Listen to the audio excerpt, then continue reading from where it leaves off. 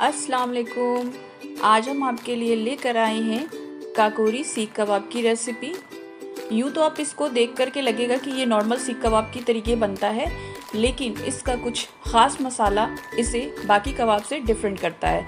और उन मसालों की वजह से ये बहुत ही सॉफ्ट और बहुत ही खुशबूदार बनते हैं। और इन कबाबों को अगर एक बार आप खा लेंगे तो बाकी सीख कबाब आप भूल जाएँगे खाना। वैसे तो इस कबाब की शुरुआत काकोरी से हुई थी, लेकिन ये कानपुर और लखनऊ में भी बहुत फ़ेमस है। तो चलिए इसको बनाना शुरू करते हैं। सबसे पहले हमने यहाँ पर बेसन लिया है। इस टेबल स्पून से फोर टेबल स्पून बेसन है और इसे हमने हल्का सा ड्राई रोस्ट कर लिया है। और ये एक बड़े साइज़ का प्याज था, जिसे हमने बारीक कट करके गोल्डन फ्राई कर लिया है और इसे हमने इस तरीके से दरदरा पीस लिया है। और अब हमने लिया है यहाँ पर सात से आठ हरी मिर्च छः से सात लहसुन की कलियाँ और एक डेढ़ इंच का टुकड़ा अदरक था। इन सबको मिलाकर इस तरीके हमने दरदरा पीस लिया है। ये सारा भी कबाब में ही जाएगा। और ये हमने कच्चा पपीता लिया है, जिसे हमने पीस लिया है। और इधर हमने थोड़े से काजू के टुकड़े लिए हैं और वन टेबल स्पून पोस्ता दाना लिया है। तो इनको भी हम बारीक पीस लेते हैं, पीस करके पेस्ट बना लेते हैं।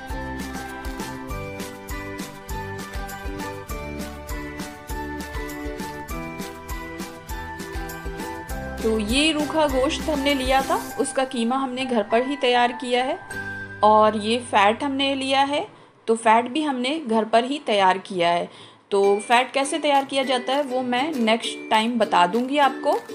और आपको अगर मार्केट से आप ले रहे हो तो एक के में सौ ग्राम आप फैट रखवाना, उस हिसाब से दोनों चीज़ों को मिला करके आप वहाँ पे एकदम बारीक कीमा बनवा लीजिएगा, अगर आप मार्केट से ले रहे हैं। तो मैंने इस चॉपर में बनाया है। अगर आप ये चॉपर लेना चाहते हैं तो इसका लिंक मैं डिस्क्रिप्शन में दे दूँगी। वहाँ से आप ले लीजिएगा और आप देख सकते हैं कितना बारीक इसमें कीमा बना है। तो चलिए शुरू करते हैं हम इसको बनाना। और इसमें मैंने ये टू टेबल स्पून इस टेबल स्पून से मैंने टू टेबल स्पून फैट रखा है। ये भी घर का बना हुआ है। तो अब इसमें जाएगा ये एक पूरा नींबू का रस। तो हम ये डाल देते हैं इसमें।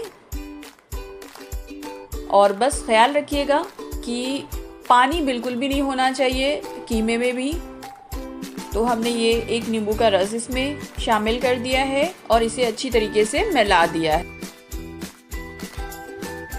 और अब हमने इसमें प्याज शामिल किया है। ये भी मीडियम साइज़ का प्याज था, जिसे हमने कद्दूकश करके इसका सारा पानी निचोड़ करके हटा दिया है और सिर्फ़ प्याज इसमें रख दिया है। और इसके साथ अब हम इसमें रख रहे हैं पपीते का पेस्ट तो ये हम वन टेबल स्पून भर कर रख रहे हैं और साथ में जो हमने हरी मिर्च, लहसुन और अदरक दरदरा पीसा था, वो हमने सारा इसमें शामिल कर दिया है। और जो हमने प्याज गोल्डन फ्राई करके रखा था, वो पेस्ट हमने इसमें शामिल कर रहे हैं।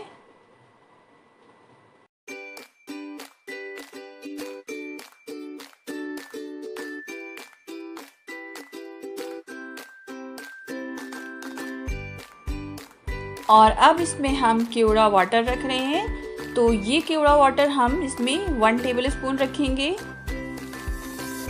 तो ये आप देख सकते हैं, हमने वन टेबल स्पून रखा और इसके साथ ही हम इसमें रोज़ वाटर भी वन टेबल स्पून रख रहे हैं। तो ये दोनों चीज़ों को भी रखना ज़रूरी है और इसके साथ हमने कबाब का मसाला घर पर तैयार किया है। वो हम मसाला रख रहे हैं इसमें और साथ में हमने भुने ज़ीरे का पाउडर भी शामिल किया है इसमें। और जो काजू और पोस्ता दाना का पेस्ट हमने तैयार किया था, वो सारा इसमें शामिल कर दिया है।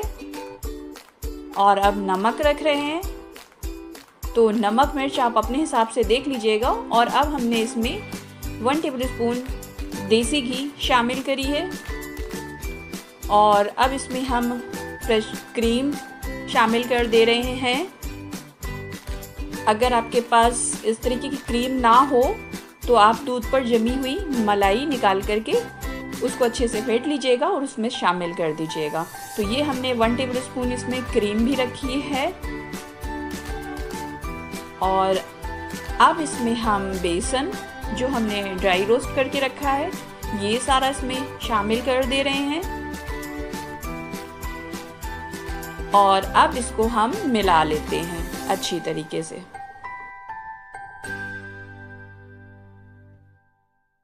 तो आप देख सकते हैं कि हमने इसे अच्छी तरीके से मिला दिया है और हम अच्छे से इसे मल रहे हैं। आपने भी बस एक चीज़ का ख्याल रखना है कि जब आप इसे मसाले के साथ मिलाएँ तो अच्छी तरीके, इसी तरीके से आप इसे मलिएगा। पाँच मिनट तक तो मल दीजिएगा अच्छे से, ताकि ये अच्छी तरीके से मिल जाए। और बहुत सॉफ्ट बनेंगे ये। और इसे इस तरीके से मिलाने के बाद आप तीन से चार घंटे के लिए इसको मैरिनेट करने के लिए ज़रूर रखिएगा। जितना ज़्यादा हो सके उतना ज़्यादा करिए। और कम से कम दो घंटे तो करिएगा ही ज़रूर। तब कबाब बहुत अच्छे बनते हैं। तो हम इसे फ्रिज में रख देते हैं मैरिनेट करने के लिए। उसके बाद हम आपको दिखाते हैं।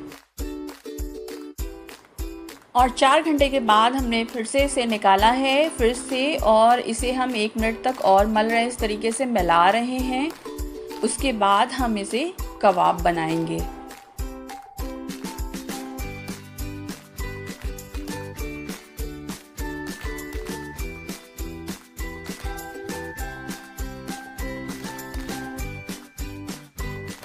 तो चलिए अब हम इसे कबाब का शेप दे लेते हैं। और फटाफट कबाब सेक लेते हैं। तो हमने ये थोड़ा सा हाथों को गीला कर लीजिएगा फिंगर को, और उसके बाद इस तरीके से कीमे का पोर्शन लेकर के अच्छे से उसको गोल कर लीजिएगा।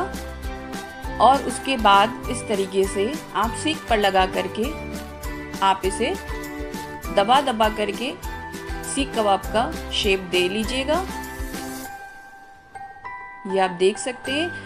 और बहुत अच्छे से अगर सारी चीज़ें आप बराबर से रखते हैं तो ये कबाब बहुत अच्छे बनेंगे और टूटेंगे भी नहीं। तो आप ये देख सकते हैं, मैंने सीख में, सीख कबाब का शेप इसे दे लिया है कीमे को और अब हम इसे आहिस्ता से निकाल लेते हैं। ये आप देख सकते हैं, कितने आराम से ये निकल गया है और टूटा भी नहीं। इसी तरीके हम सारे कबाब का शेप दे करके रख लेते हैं।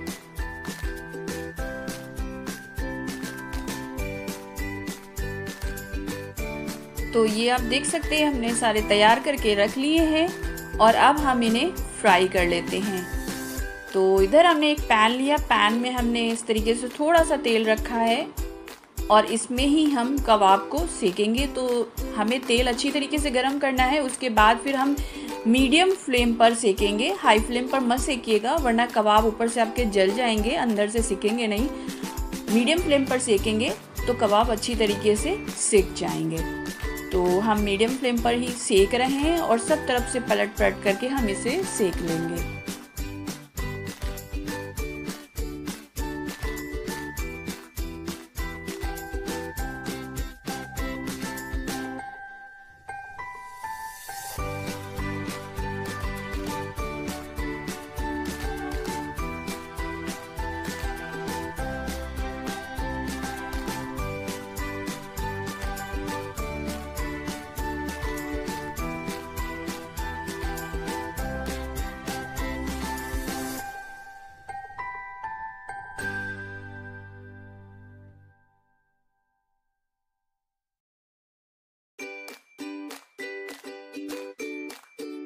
तो आप देख सकते हैं हमने सारे कबाब सेक लिए हैं। कितना अच्छा सा कलर आ गया है।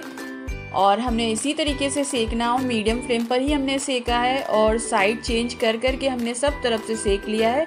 तो ये ऊपर से भी अच्छे से सिक गए हैं और अंदर से भी अच्छे से सिक गए हैं। तो अब हम इन्हें निकाल लेंगे और सारे कबाब इसी तरीके से सेक लेते हैं।